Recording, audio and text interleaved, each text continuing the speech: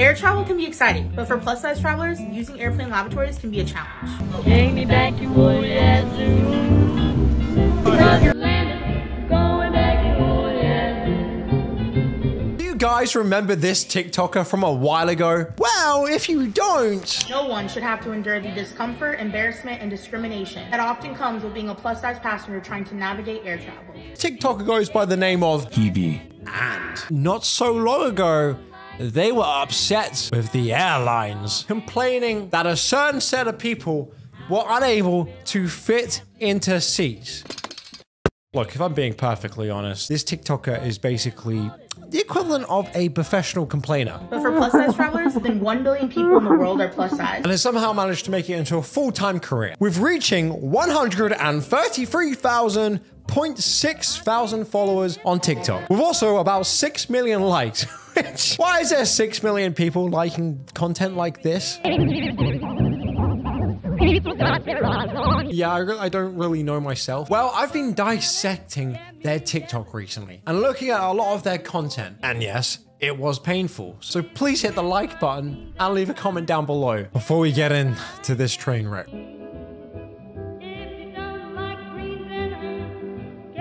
So since making that viral TikTok a few months ago, where I think everyone underneath the sun has reacted to at this point, No one should have to endure the discomfort, embarrassment, and discrimination She's made a few adjustments since then, trying to recorrect maybe the wrongs in which she created at the beginning, trying to justify her reasoning behind the things that she said. The gist of the original video was her complaining that seats aren't big enough for overweight people, and it's their fault that she can't fit in the seat. Yes, it's everyone else's fault.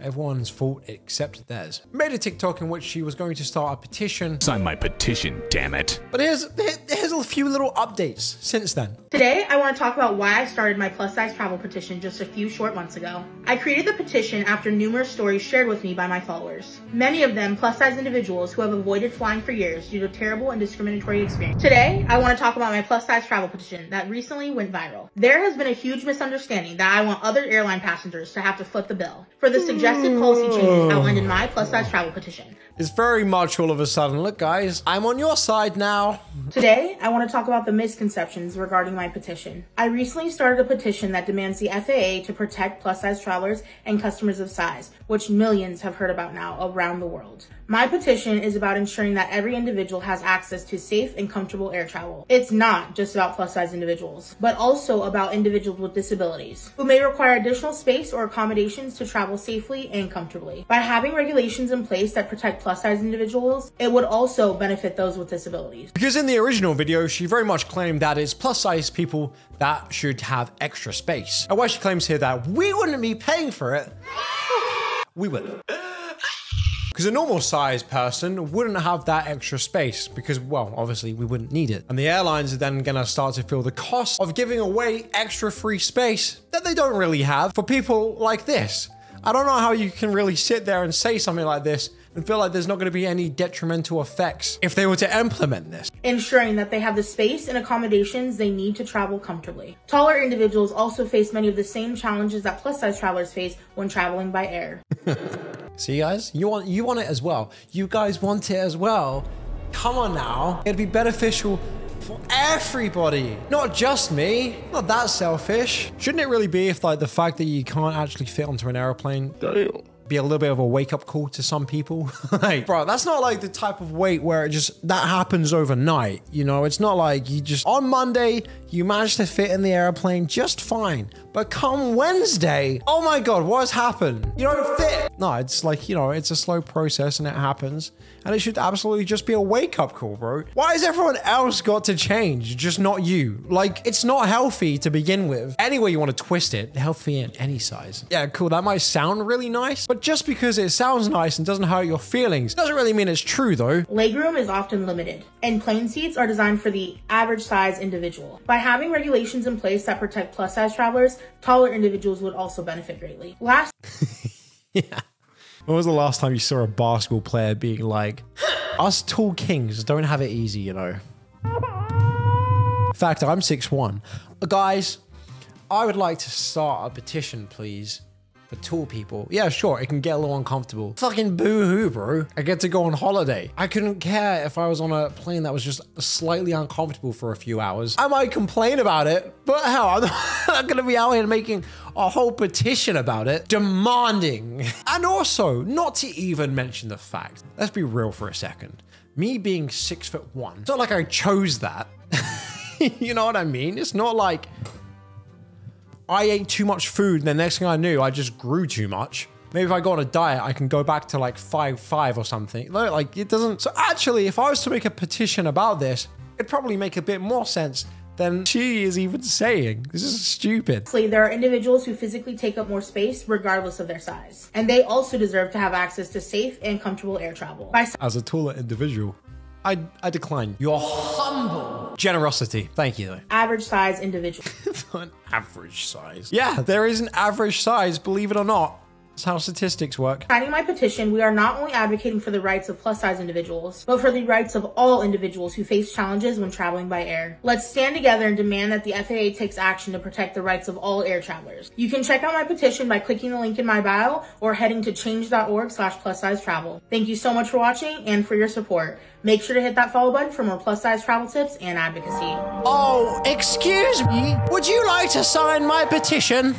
Why does everyone have a petition these days? It's everyone else's fault except for me. I'm not the problem. Everyone else is. Let me know what you guys think. Should we sign the petition? I don't think we should. Kind of curious. What else does she have on her TikTok? What other stuff can she offer me as a viewer? Well, not a lot really. It seems to every video seems to be complaining about air, air travel, or it's about top 10 tips for fat people who are looking to travel. Here is a list of the top six plus size friendly airlines to fly with. Just lose the weight. I why? Why is it like every other fucking thing that they want to do except for just lose the weight? Well, Blaze, I actually think that's rather insensitive. You can't lose weight. Though yes, you can. It might be harder for some people, but it's certainly an option. They're not even mentioning it. It's like, oh, bro, it does my head in, man. Like, top 10 foods to lose weight overnight. I lost 10 pounds in one night with trick number three. Plus size travel struggles, part five. The pressure to lose weight before travel. Being uncomfortable on planes. Not knowing what plus size travel essentials to pack. What? What- You curious? I'm curious. Plus size essentials to pack. Fucking what? Like a, a- an oxygen tank? Hmm. Do I bring my Nintendo Switch on my oxygen tank? Plus size essentials to bring on a plane. Compression socks. Oh, my favorite. I do love those compression socks, guys. Foot hammock. No, I made that one up. Travel pillow, heat patches, anti-chafing solution, handheld fans, and my favorite, fat-friendly reading. What the fuck does that even mean? Flights are a brilliant place to get really stuck into a new book, and there are some amazing titles out there when it comes to fat-friendly reading. what class is as a fat-friendly book? Find yourself a copy of whichever one tickles your fancy the most and enjoyable journeying. We've shared some of our top picks for plus size friendly reading here. What, number one's Charlie and the Chocolate Factory or something? What the fuck is funny? What does this mean? Where were we? Oh, yeah. Number nine. If you are traveling on a plane and you happen to be overweight, make sure to bring some snackies with you. Can't be losing calories. The fact of the matter is that people When's she gonna when's she gonna drop her bulk tips though? That's what I really want to see. Top 10 bulking tips. I'd watch that. This is a great question, and as much as Let's have a look. What is this great question that she talks about? Do you find two seats in economy enough room? Is it a great question? No, I actually prefer three. I've talked about buying two seats as a plus size traveler who wears a size 6X, I've never given you the real tea on how comfortable it is to sit in two seats. So let me Is it though? Is it really? Or like, what would be better? Two seats or just one seat? I don't get why they're trying to promote it so much. Like, you have to try the two seats. Oh my god, it's just so good. Oh, and you wait. You wait until you try three seats. Fuck it, have the whole row. I mean, actually, yeah. No, I'll give it that. Actually, having the whole row is it is nice. Yeah, Here are 10 tips for keeping your confidence high when you're traveling as a plus size person. Now, if you're thinking about clicking off this video, wait. Just wait. I want to hit you with a fun fact right now. Well, it's not, it's actually kind of depressing, but I mean, it's still a fact. Did you know that more than 1 billion people in the world are plus size? No! That's roughly 13% of the population. And yet, many airlines still don't have clear policies in place to accommodate plus size passengers. That's why I've started a petition calling on the FAA to require every airline to have a clear customer size policy in place Miss, can I have one of the fat bastard extended, please? Thanks. Are you sorted? Yeah, all good. Thank you very much. I don't know why, but they're kind of making it sound like plus size people. It's like a pandemic in the sense that like they all got bitten by the, the fat mosquito or something, and then they woke up the next day were like, Jesus Christ, ma'am, ma'am. I don't know, man. Can't win. You can't win on the internet.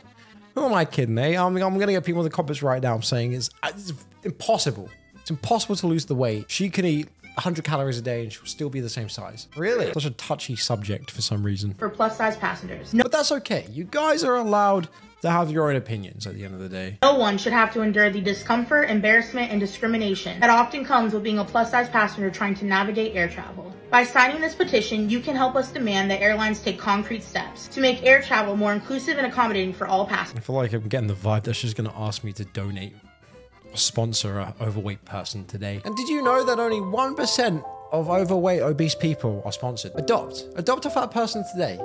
Do it. Become a better person. Adopt one. Travel is for everybody. Don't ever let society convince you you aren't worthy of seeing the world because of your size. Oh, please stop. No, little Jimmy, I've told you this. You can't go and see the pyramids in Egypt because you're overweight. Get it for your calorie dense, stupid head. Who says that? They're just making up stuff at this point. Yes, if you're overweight, newsflash, you're more than welcome to travel. Just this once, though. Oh man, they just make stuff up at this point. It's been thoroughly entertaining watching this TikTok. If you made it to the end, damn, you should probably subscribe. See you in the next video. Bye bye.